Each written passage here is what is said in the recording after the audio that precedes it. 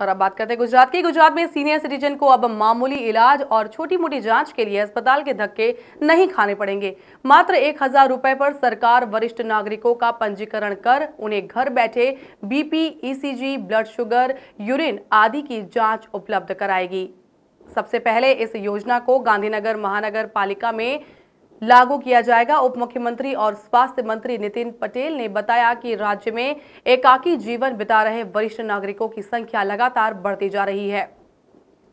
सरकार 70 वर्ष से अधिक उम्र वाले वरिष्ठ नागरिकों की घर बैठे स्वास्थ्य देखभाल और जाँच कराएगी। इसके लिए वरिष्ठ नागरिकों को एक हज़ार रुपए के शुल्क के साथ अपना पंजीकरण कराना होगा। इसके बाद हर 15 दिनों में medical team, BP, ECG, inhaler, weight machine सहित उनके घर पहुंचकर उनकी जाँच करेगी।